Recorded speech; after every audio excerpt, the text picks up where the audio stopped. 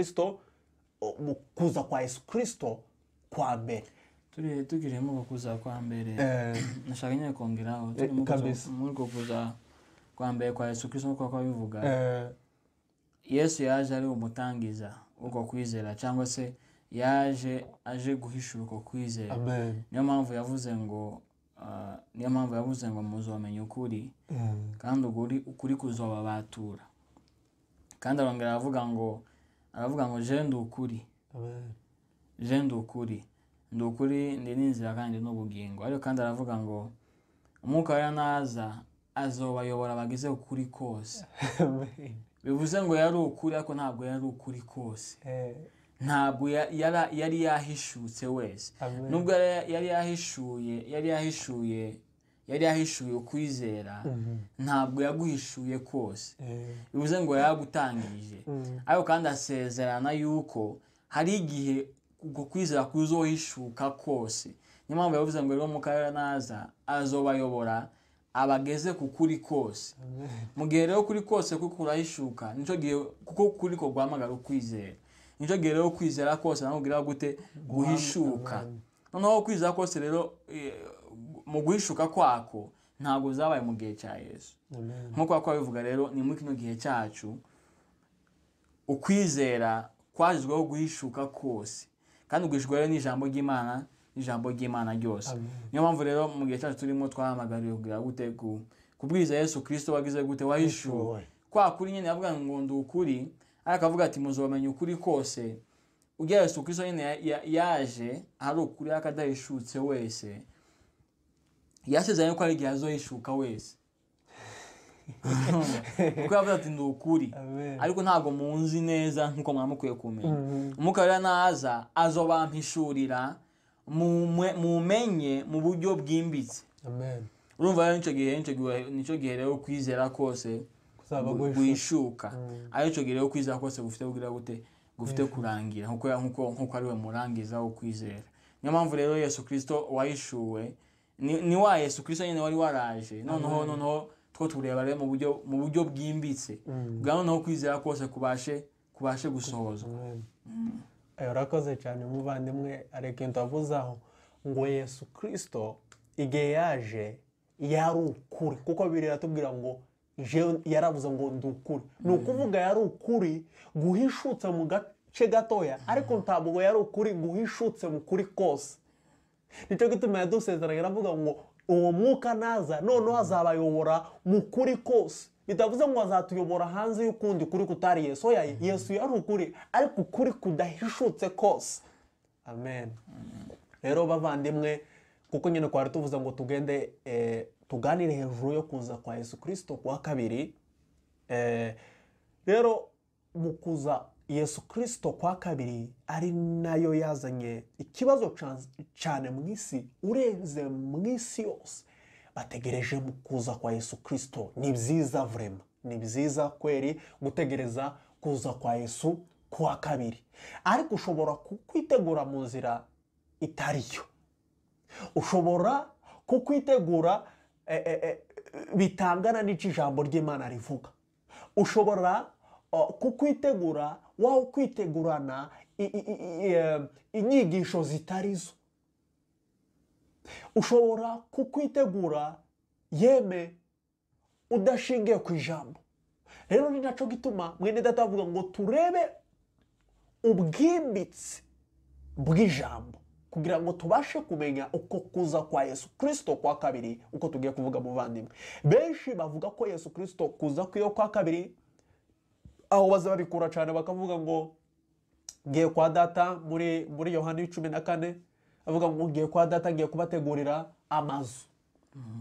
Eh, ngo kuko ngo hatasha kubayo ntabibabwiye niko benshi bavuga rero ngo agiye kwa data kubategurira amazu eh, eh, agiye kubategurira amazu aho nyine aho yabategurira namara azaje kubatwara noneho baje kubaho iteka ryose. Niko abantu benshi bigishijwe niko abantu benshi bazi niko abantu benshi basoma niko abantu benshi babitekereza no mu magingo ye ariko muvandimwe ukuri kuza gukomeza ukuri ntabwo kuza guhagarika ukuri ntabwo kwigeze guhagarikwa Ah, ah. Ukuri kurakomeza no muri aya magingo ukuri kurimo kurakomeza. Ni na cyo gituma muvandimwe tukubwira kuza kwa yesu kirisito kwa kabiri ntabwo ari ukuza kwa rapca ntabwo ari ukuza kwa yesu kirisito e, e, e, e, kwa parapanda. Ari byo bita mu giswahili ngo parapanda. Ntabwo ari ukuza kwa yesu kirisito aje guterura mu itorero ngo ararijanye mu kirere. Oya uko ntabwo ari ko kwa yesu kirisito nibyo twaba dushaka kuvuga cyane uko ntabwo ari ko kuza kwa yesu kirisito turimo turavuga. Kuza kwa yesu kirisito kuza kwa yesu kirisito turimo turavuga kwa kabiri. Ni ukuza kwa yesu kirisito aje gusohoza kwizera nk'uko twabivuze ngo yari gusohoza iki? Kwizera ntabwo ari ukuza kwa yesu kirisito aje gutwara itorero nk'uko abantu benshi babibwiriza. Oya icyo ni ikinyoma rwose. Ubwo ntabwo e, e, e, ari ubutumwa nyabwo. Rero kuza kwa yesu kirisito turimo turavuga muvandimwo urimo uratwumva bibiri iratubwira neza muri ma- muri matayo ibice mirongo ibiri na mirongo ibiri na kane. Aho bibiri itubwira neza ngo eh, eh, ngo imana izatuma abamarayika bayo eh, ngo baze mu isi yose. Baje ba- ba- ba- baje kureba ibintu ba- ba- bahinze. Baje baje. ba- ba- baje gu- baje gusarura baje gusarura urumva?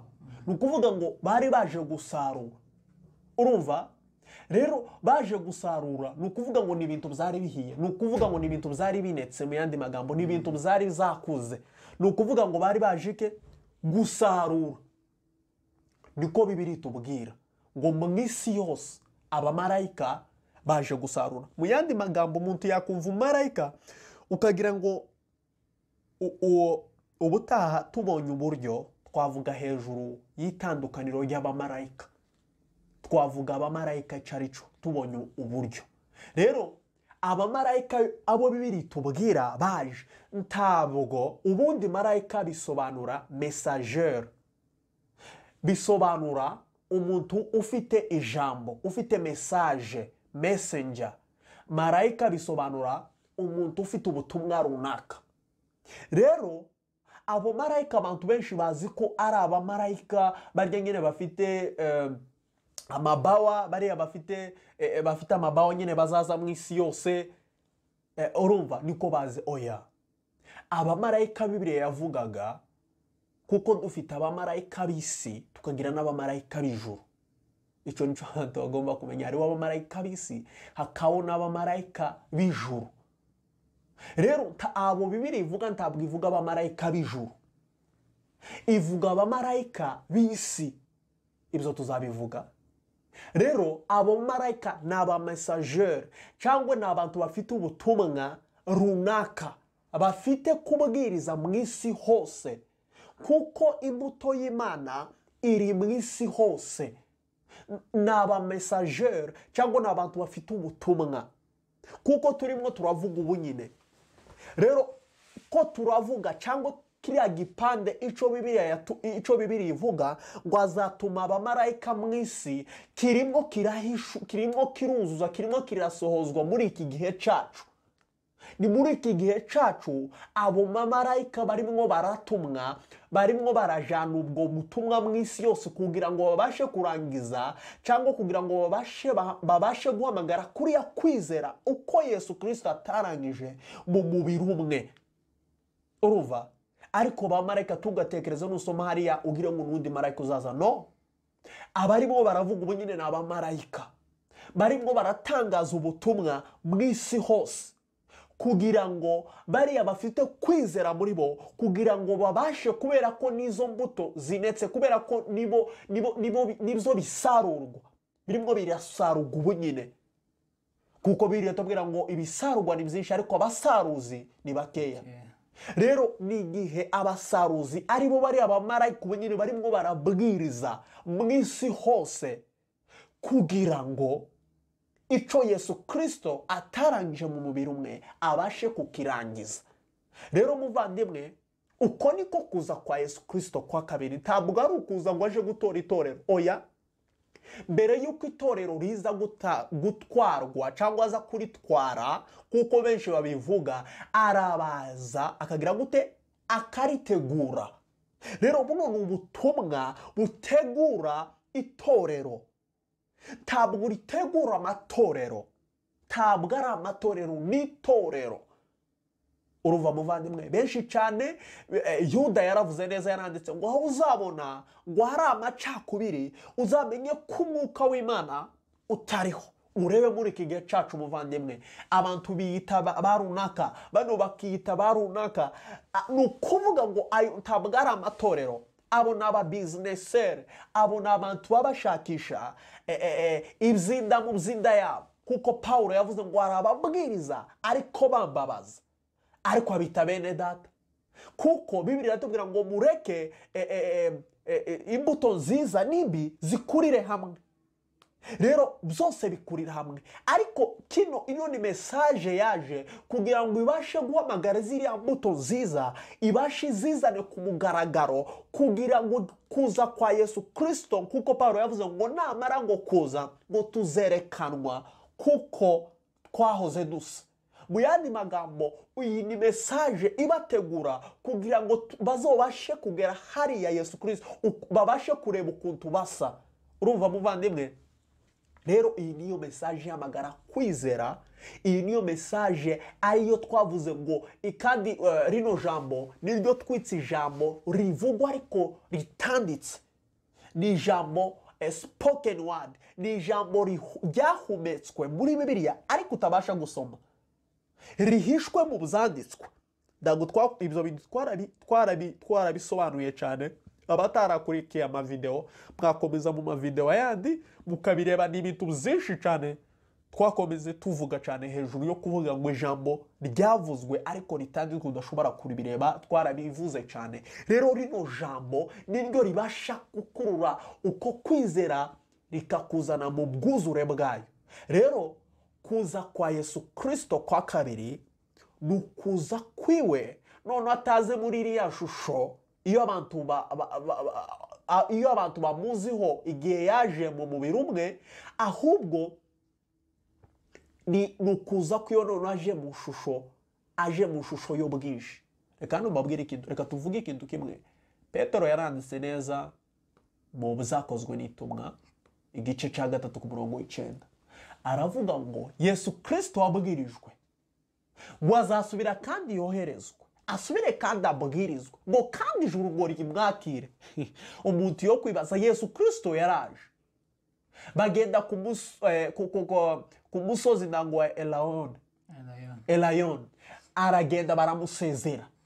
Babona ukuntu igicu cyamukingirije kugira ngo abashe kwinjira mu ijoro nyaryo. Cyamukingirije kugira ngo yinjire mu ijoro nyaryo. Ariko ntabwo cyamukingirije kugira ngo yinjire mu ijoro iryo abantu bita ijoro ahubwo cyaramukingirije kugira ngo yinjire mu- ijoro nyaryo muri videwo itaha tubonye uburyo tuzavuga hejuru y'ijuru nyaryo. Ijuru ni iki aho yesu kirisito aho bavuga ngo yagiye mu ijuru ni hehe nitubona uburyo tuzabivuga rero bari ku musozi wa elayon babona ukuntu yagiye ngo ijuru riramwakira bibiri irabivuga neza.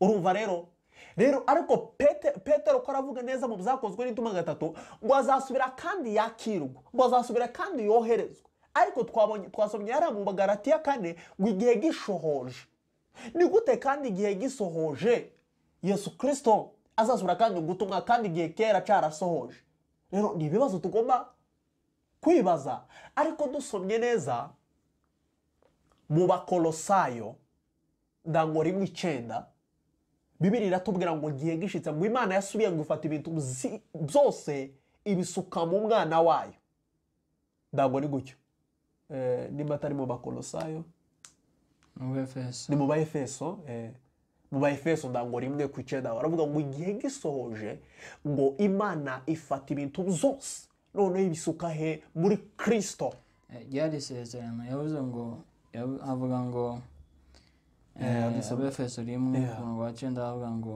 itumenyesheje ubwiru bw'ibyo ishaka kubw'ineza kubw'ineza y'ubushake bwayo ari byo yagambiriye kera. Kugira ngo ibihe nibisohora ibone uko iteraniriza ibintu byose muri ehe. Ari ibiri mu ijuru cyangwa ibiri mu isi. Urumva rero hariya mu bagaratiya havuze yesu kirisito wo mu mubiri umwe. Ariko hano ko turumva kandi irindi iri- eh, eh, irindi porofesi cyangwa eh, ubuhanuzi. pawulo ya pawulo yayashiraho ngo igihe ngo igihe kigeze ngo imana izasubira kandi ifata ibintu byo mu isi. Ibintu byo mu ijuru n'ibyo mu isi byose bishyire he? Ibintu byose. ngo ibishyire muri yesu kirisito muri kirisito ariko kirisito kera yari yaramaze gutumwa. Ariko ni n'indi sezerano yaya yaya eh, pawulo yayandika. Kiryo petero yanditse nawe ngo imana izasubira kandi yohereze kirisito kandi petero ari mu banafunzi ba mbere bajanye na yesu kirisito Basiga ibyabo byose bakurikira yesu kirisito ariko ko aravuga ngo hari uwundi yesu kirisito uzasubira kandi gutumwa urumva? Pawulo nawe yavuze ngo ngo imana izafata ibintu byose birunde he? Byose byose ibigaragara n'ibitagaragara. Ngo ibisuke muri kirisito Mu rero mu bihe nibisohora ngo ibihe n'ibisohora ntabwo? mu bagaratiya haravuze ngo igihe gikwiriye gisohoye. Imana yohereje umwana wayo. Bivuze ngo hari ikindi gihe gifite gusohora muri Efeso naho kandi Pawulo- kandi yavuze ati ibihe kandi nibisohora n'ibisohora nk'ubu bwa mbere byasohoye yesu kirisito Araza aratangiza ara- aratangiza kwizera. Ariko rero kandi avuga ko hari igihe kandi ibihe kandi bizongera gute gusohora. Gusohora. Nicyo gihe rero ibintu byose noneho bizokoranizwa hehe Muri kristo urumva muvandimwe muri mu- mu bagaratiya kane icyo gihe cyarasohojwe cyarashohojwe kera. Yesu kirisito yaraje mu mubiri umwe. Ariko pawulo karasubira kandi kuvuga ngo ibihe nibisohora. Urumva ni future. Ntabwo yavuga muri past cyangwa present. Yari arimo aravuga future. Aravuga ngo igihe nibisohora ngo kandi imana izakoraniza ibintu byose byose ibigaragara n'ibitagaragara muri yesu kirisito urumva muvandimwe petero naravuga ngo ngo imana izohereza ngo yesu kirisito uwabwirijwe ngo asubire kandi aze urumva muvandimwe ni ukuvuga ngo uwo kirisito ntabwo ari uriya kirisito mu mubiri umwe. Ahubwo ni yesu kirisito noneho wahishuwe muri iki gihe cyacu ari nawe bariya bamarayika twabonye ari nawe bari abamarayika twabonye hariya bazatumwa mu isi yose. Kubera ko marayika ntabwo bivuga uko twabivuze ngo marayika wundi w'amabawa wa wundi ufite amababa. Oya bisobanura messenger. Yesu kirisito yari umumarayika. Yesu kirisito yari umumesaje kubera ko yari afite yari afite ma- yes eh, umumarayika w'isezerano. N'ubundi yari afite mesaje urumva muvandimwe yari afite mesaje yari afite mesaje ni cyo gituma yari umumarayika. Urumva rero ntabwo yesu kirisito uwo abaefeso rimwe icyenda ivuga ntabwo uriya yesu kirisito wagendaga i Galilaya- wagendaga i Galilaya mu mubiri umwe agenda i samariya n'ahandi. Oya uyu yesu kirisito ivuga ahubwo ni uriya yesu kirisito wahishuwe abamwishe kuko um, esaya yabyanditse ngo igihe eh, ngo, namara ngo ngo gupfa ngo azabona ngo ibimuvuyemwo cyangwa imbuto yiwe izakomeza kubaho kwiwe. Urumva rero ni yesu kirisito wahindutse kuba mwinshi ni we wahindutse iriya mbuto none ni we wawukomeza. Niwe wawukomeza noneho kubaho kwe noneho mu bwinshi. Ndibuka neza usomye neza eh, eh, usomye neza mu- mu- muri yohana ibice cumi na kabiri ku murongo w'icumi na kabiri abantu bari bavuye i girisi baje kureba yesu kirisito baramubwira ngo "We, ngo twari dushaka kureba babwira abanafunzi biwe ngo dushaka kureba umwarimu wanyu dushaka kureba yesu. Ntabwo yabemerera arababwira ngo mubabwire baze bandebe. Oya! Ahubwo yesu kirisito ubwe yari abizi. Kuko yari yanababwiye ngo ngo ngo muri iki gihe ntabwo ushobora kubabwira ibintu byose. Ariko umwuka naza azabageza mu kuri kose. Ni ukuvuga kirisito nawe atakubwirije kose ariko we yari akuzi kuko yari azi icyo mwuka wera azavuga. Yaravuze ngo ibizanje ni byo bya mwuka wera. Ibya mwuka wera ni ibyanje ibyanje ni ibya data. Ni ukuvuga kandi turavuga ngo ntabwo ari amapersonalite atatu. Ahubwo ni umuntu umwe ukorera mu ma ofisi atatu atandukanye. Ariko ayo ma ofisi ntabwo ari personalite. Ntabwo ari imana zitatu. Ahubwo ni imana imwe. Kuko na bibiri iratubwira neza usomye muri deuteronomy eh, eh, eh, ngo imana gatandatu kuri kane. Kane kuri gatandatu aho ngo imana isiraheli isiraheli imana yanyu ni imwe. Ni ukuvuga ni imana imwe ikorera mu ma ofisi atandukanye. Rero yesu kirisito kubwira abana afunze ibiwe ngo mubasubize nuko yari azi igihe kizaza iko ingirisi yazoba ariho yesu kirisito iko mu isi yose azoba ari yesu kirisito kuko imbuto ya aburahamu iri mu mahanga yose iri eh, eh, mu ishanga ryose. Hose irahabarizwa. Rero mu kuza kwa yesu kirisito kwa kabiri ntabwo ari ukuza kwa yesu kirisito kwa kabiri aje kujana itorero no. Ahubwo ni ukuza kwa yesu kirisito agize gute? Aje none aje kurangiza kwizera aje guhamagara kwizera noneho mu bwuzurire bwako kugira ngo noneho itorero ribashe kugara ribashe gusa kumu k'umukwe. Kugira ngo ribashe kugira gute gusa n'umukwe. Bino bintu twabigereranya no muri matayi ibice makumyabiri na gatanu. Igihe hari abakwe hari abari icumi hari abari bafite iki? Eh, eh, eh, hari abari batanu b'ibifu hakaba n'abari icu hakaba n'abari batanu b'abanyabwenge. Ibyo bintu twarabisobanuye mu mavideo atandukanye. Tuvuga ko bariya bari yari amavuta bisobanura porsiyo cyangwa bisobanura igice kimwe cy'amavuta bari bafite. Ni ukuvuga ngo bari bafite guhishurwa kugeza ahantu runaka ariko ntabwo bari bafite guhishurwa kose. Ni ukuvuga ngo kugira ngo umukwe aze aho uri ni ukuba ko yari ni ukuvuga ni ukuba kwanza ko yari yabanje kugutegura. Ni ukuvuga bariya bari ntabwo bari bateguwe mu bwuzurire bwose. Ariko bariya bari bafite igice cya kabiri bari bafite igice cya kabiri ni ukuvuga bari bateguwe mu bwuzure bwose. Nicyo gituma bari bafite permission ni cyo gituma ba- bagize eh, babonye permission cyangwa bageze aho basa n'umukwe cyangwa aho eh, babona umukwe. Ni ukuvuga ngo umuntu uteguye cyangwa umuntu witeguye cyangwa umuntu wawitegura eh, eh, noneho kuja muri iriya rapca eh, rapca cyangwa eh, mu impanda. Ni impanda rya Mm, kunyakugwa eh, kunyakurwa reka tubyite gutyo bavandimwe eh, cyangwa izo bita mu giswahili kubera ko nirwo rurimi ruri hafi cyane. Ibyo- twita eh, ndango ni impanda parapanda. Eh, ibyo bita parapanda urumva.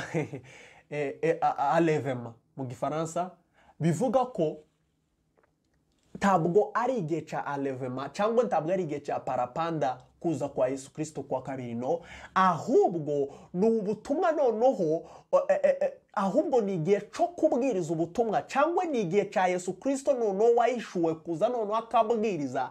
Kugira noneho abiteguye noneho kwita icyo bita parapanda kugira noneho bazayijemo ni ukuvuga ngo wowe utazi kuza kwa yesu kirisito kwa kabiri ntabwo ushobora kuja muri parapanda. Cyangwa ntabwo ufite kwizera kubasha kuja muri parapanda. Kwizera kwawe ntabwo kushobora kunyakurwa ntabwo kubasha kuzamurwa no.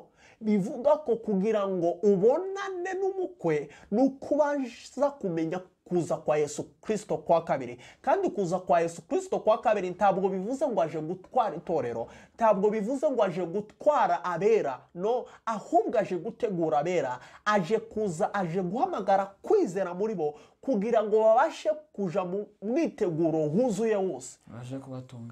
Kugira ngo abashe kubatunganya rwose.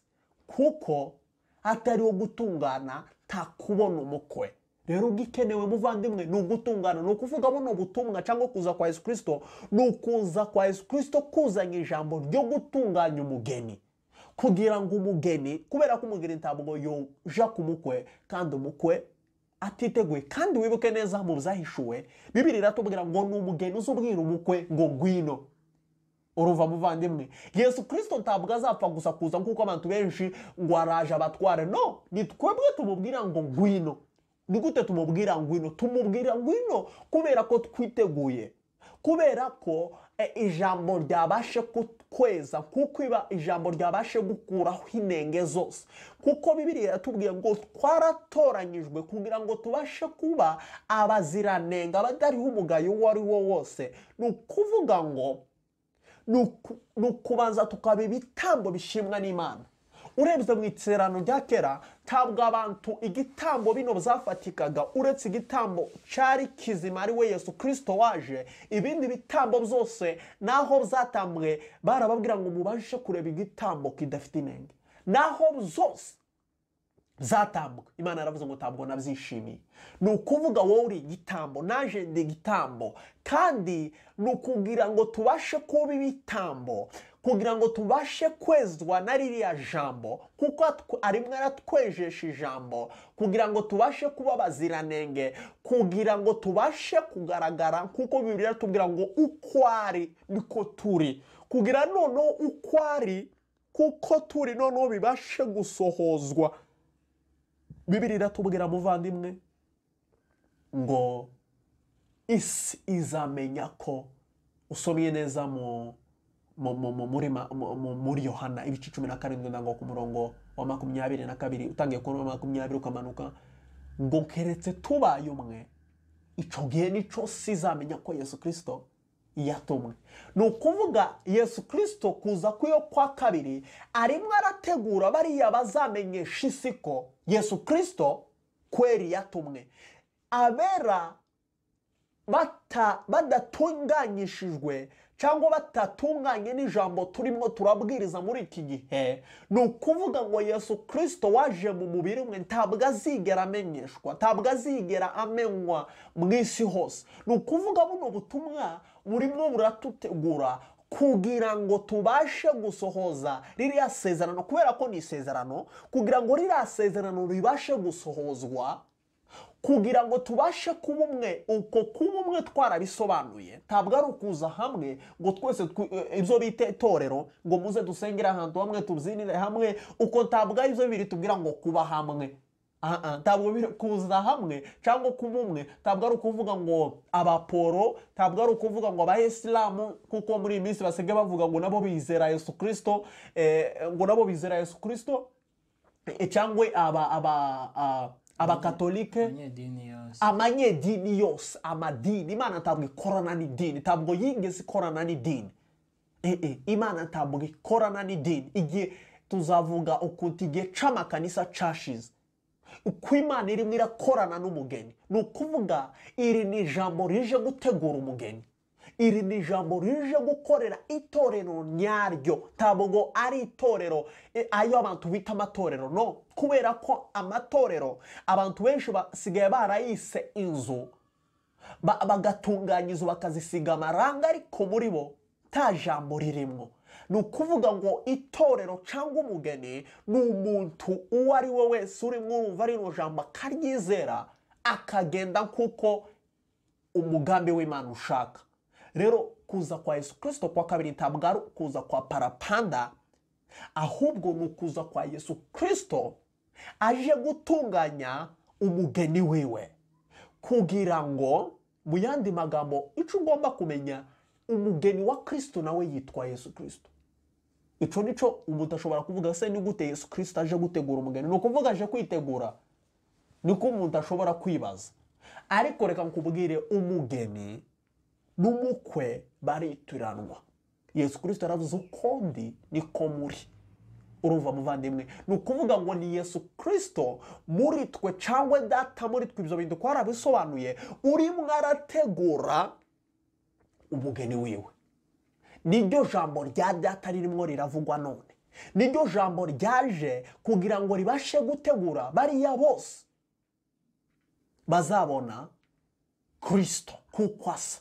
Kuko twarabwirije yesu kirisito ntabwo atuye hanze yawe. Yesu kirisito ntabwo arigera atura hanze yawe. Yesu kirisito ntabwo yigeze atura hanze yacu. Bibiri iratubwira ngo tukiri mu bata. Yaradupfiriye.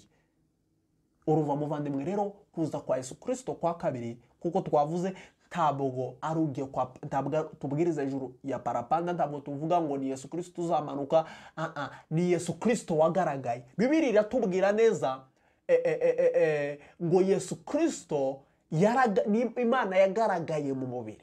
Imana yaje mu mubiri mu gihe cya yesu kirisito mu kuza kwa yesu kirisito kwa mbere. Nicyo gihe imana yagaragaye mu mubiri. Imana yavurwaga mu isezerano rya kera. Noneho imana itarabonwaga noneho igaragara hehe mu mubiri. Nicyo gituma mu bakolosa yaravuga ngo ngo jesus christ is the image of the invisible god. Ni ukuvuga yaje ari ishusho igaragaza imana.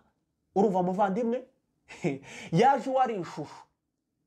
Dusomye neza kandi mu baheburayo ikatubwira ngo mu baheburayo ba mbere cya mbere ngo yesu kirisito iwe ni imaji ya personalite ariko iwe ntabwo ari iyo personalite ni ukuvuga naho yesu kirisito yaje iwe ari imaje cyangwa nimba naho iwe yaje ari igicucu ariyo mana yigaragaje mu mubiri. Imana yavugwaga mu isezerano ariko imana itari izwi amaso mbone kubone ariko iwe yari igicucu. Kuko mu baheburayo aravuga ngo iwe yari imaji ya personalite urumva muvandimwe ni ukuvuga muri iki gihe noneho ni igihe cya personalite nyawe kubera ko yesu kirisito yari igicucu cyacu urumva muvandimwe yesu kirisito yari igicucu cyacu ni ukuvuga ngo twebwe twari muri muri we cyangwa twebwe twari tugize uriya mubiri twebwe tutagaragaraga ni twebwe twari personalite.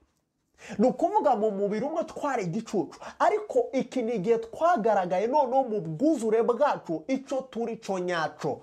Ariwo yesu kirisito wahishuwe ari wo yesu kirisito muri iki gihe turimo turabwiriza ari wo yesu kirisito muri iki gihe urimo urabwiriza ubutumwa ku bandi bose bagize uwo mubiri ku bandi bose bagize gukomeza kubaho kwa yesu kirisito urumva muvandimwe? Rero turakomeza tuganira dukomeza kumva kubera ko muvandimwe muri ibi bihe turimo ni ibihe satani adashaka ko abantu babasha kumva ijambo? Ni igihe yayahuzeza abantu mu bintu bitari byo. Urebye muvandimwe abantu benshi bararushe vuga ngo yesu kirisito yavuze ko azagaruka. Ibihumbi bibiri birashize abantu bakavuga ngo ntabwo azagaruka benshi nuko basigaye bavuga ngo ah reka twikorere ibyacu oya muvandimwe uvuga gutyo arimo arabeshwa. Urimo aravuga gutyo arimo arabesha. Yesu kirisito kugaruka ikibazo ni uko abantu bamurindiriye ko azava ahantu runaka.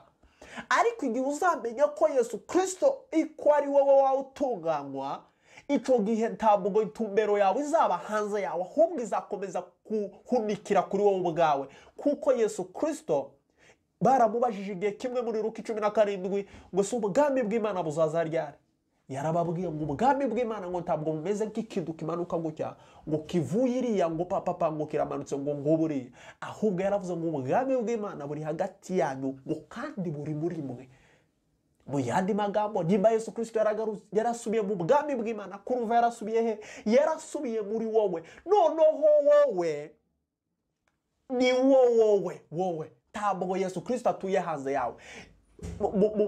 Mu ba efeso gatanu gatanu ibice mirongo itatu. Baravuga ngo turi inyama n'amagufwaze ntabwo bivuga ngo dufite inyama n'amagufwa bisa nk'ibyiwe. Ahubwo biravuga ngo wowe amagufwa ufite inyama ufite amaraso ufite ayo ni byo ibyo ni byo byiwe. Mu yandi magambo ni wowe wowe. Kuko utunganya n'abatunganya bose bavuye hamwe uruva muvandimwe usomye kandi muri mu bakorinto ba mbere ibice icya kabiri ku murongo w'icyenda aravuga ngo ibitarigeze bigera mu mutima w'umwana w'umuntu ni byo imana yaduhishuriye muri iki gihe ni byo yahishuriye bariya akunda. Ni ukuvuga ngo ibitarigeze bigera muri konsiyanse y'umwana w'umuntu. Biriya byose mose yakomeje kuvuga aravuga ngo ibyanditswe ni ibyacu n'abana bacu ariko biriya bitigeze kwandikwa n'iby'imana ariko biriya byose kubera ko nta muntu uzi ikintu kiri mu mutima w'imana uretse umwuka wayo ugenda ukamenya ikiri ku mutima wayo ni wo mutima noneho watumenyesheje biriya byari bihishwe noneho. Biratumenyesha muri iki gihe. Ni ukuvuga muri iki gihe turimo turavuga ibintu byari bishwe ariko muri iki gihe kuko yesu aravuze ngo uwo mwuka ari nawo mwuka ugenda ukamyika ku mutima w'imana. Noneho uwo mwuka arimo aratujana mu kuri kose kwari guhishwa mu mutima w'imana.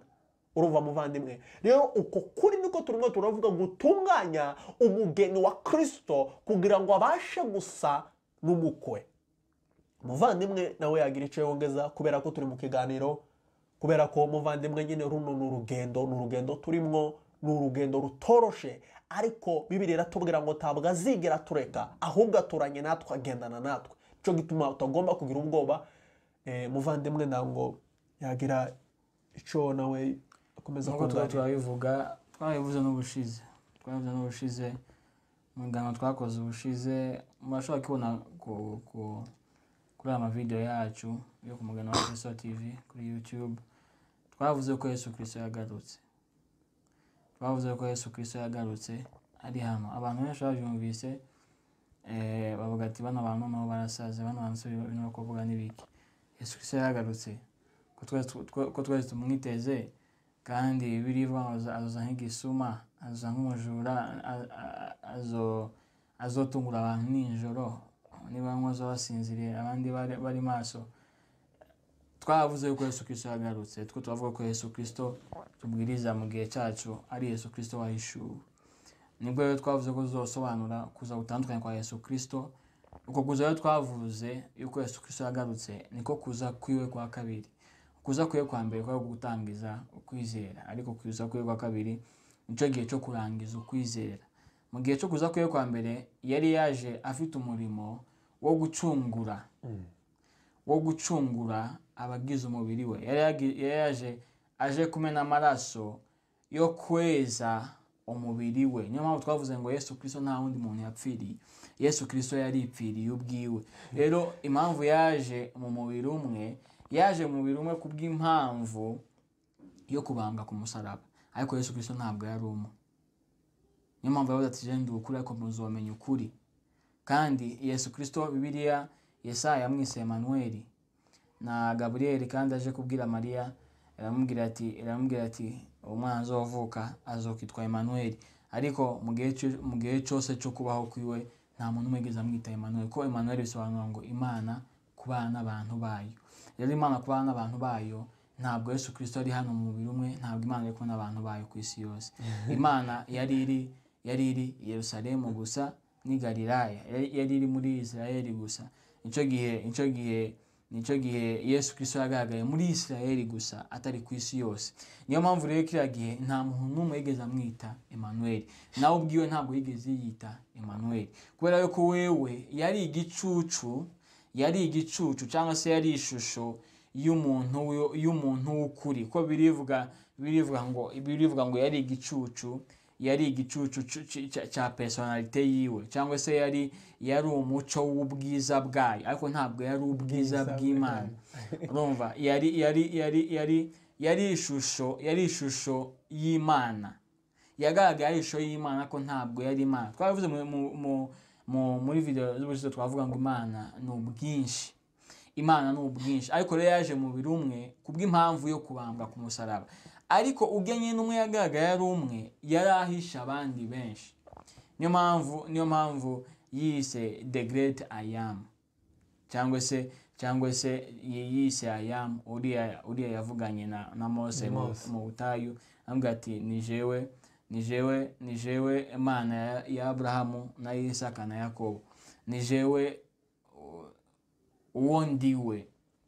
Uwo ndiwe. Impamvu rero yiswe great great i am bivuze ngo yari ubwinshi. Ariko rero yesu kirisito mu mubiri umwe nk'uko pawulo yabivuze mu- mu- mu- mu ba- mu baheburayo yaravuze ngo yari yari yari yari yari yari ugukayangana k'ubwiza bwayo. Ariko ntabwo yari ubwiza bwayo.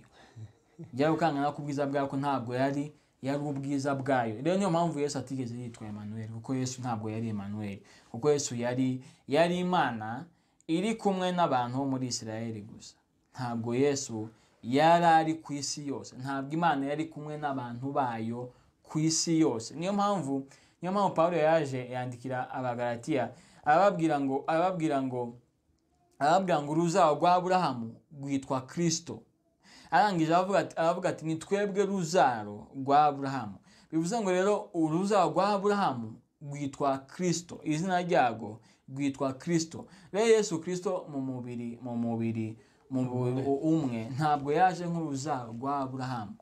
Mu mubiri umwe yesu kirisito yaje mu mubiri umwe kugira ngo abambwe ku musaraba. Ariko ntabwo uruzaho rwa aburahamu nirwo rwitwa kirisito kandi ngo rwitwa emanuweli ni uruzaro ruri ku isi yose. Niyo mpamvu imana yabwiye aburahamu ngo nzo guhindura ihanga rikomeye kandi amahanga yose yo ku isi yose azohabwa umugisha ku bwawe. umugisha rero amahanga yose afite ni uko amahanga yose afite imana mu hagati yabo ayo mahanga yose rero afite imana hagati muri bo ni bwo bwami bw'imana buri hagati